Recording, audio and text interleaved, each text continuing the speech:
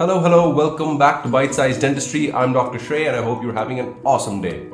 Has it ever happened to you that you spend 30 minutes on a root canal, your files are going to the apex, but your GP is just short? It's just not going to the apex.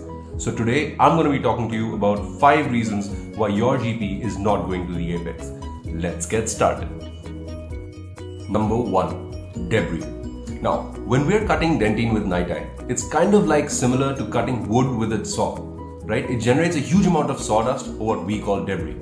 Now, the coronal third is the one that generates the maximal amount of dentine, and it is really important that we maintain that dentine outside of the canal rather than letting it compact within the canal.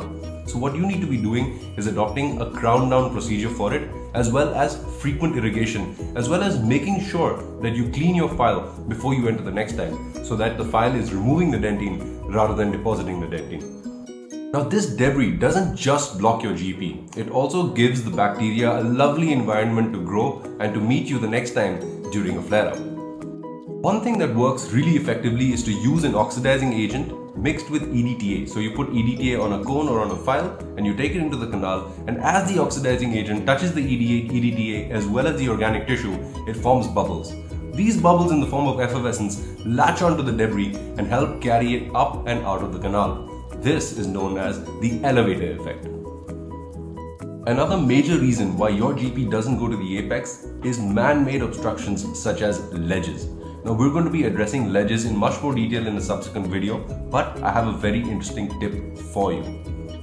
What you can do is pre-curve your GP once you have managed to negotiate the ledge, which we'll discuss in a separate video like I said. What you can do is step 1, dip your GP in spirit. Number 2, while it is wet, Pre-curve it slightly, tilt in the direction that you'd want. And step 3, let it dry out or air dry it. Once that's done, you will see that the GP maintains its curved position and is much more firm than it was in its original situation. You're welcome. Number 3. Using old or worn out files. Now how it works is, there are segments in a file that will get worn out more than other segments. These areas are actually performing inefficient cutting. Now, inefficient cutting means that it leaves behind small islands or little islands in dentine on the walls. And if the file is not cutting the dentine, then it is burnishing the dentine, which leads to an area that instead of being wider than before, it is narrower than before. And that leads to the GP getting stuck. This can also be called as taper lock. Number 4. The concept of working too fast and too furious. Now the logic is the same as it was with the old worn out files. If you have not given enough passes with the file, then there will be areas that are left behind on the walls. Now files are fluted, right?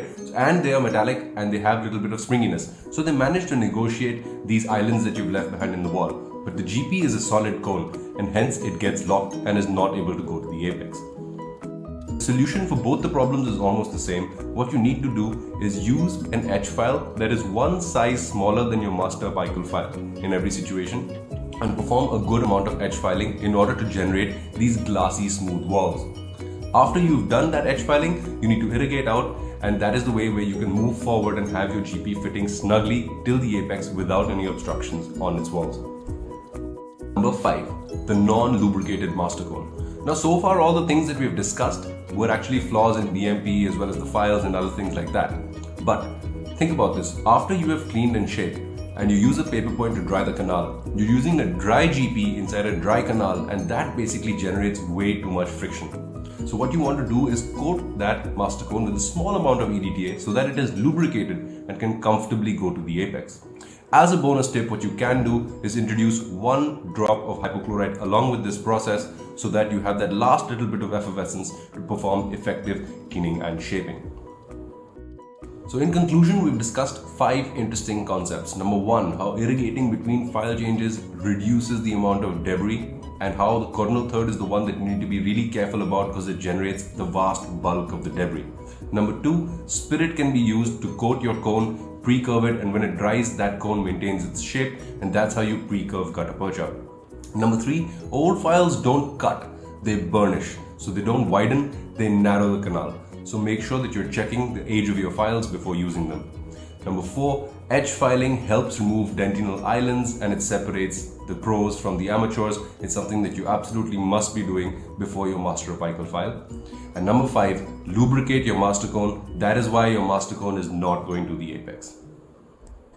Thank you so much for making it here and spending some time on Byte Sized Dentistry. I hope you guys are having as much fun listening to these videos as I am having making them. Don't forget to be awesome.